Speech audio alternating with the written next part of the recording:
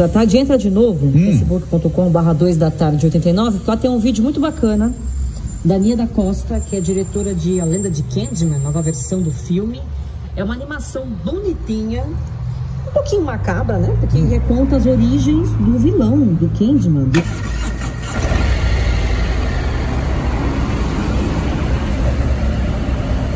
Além de explicar o vilão, ela também... Questão rolando...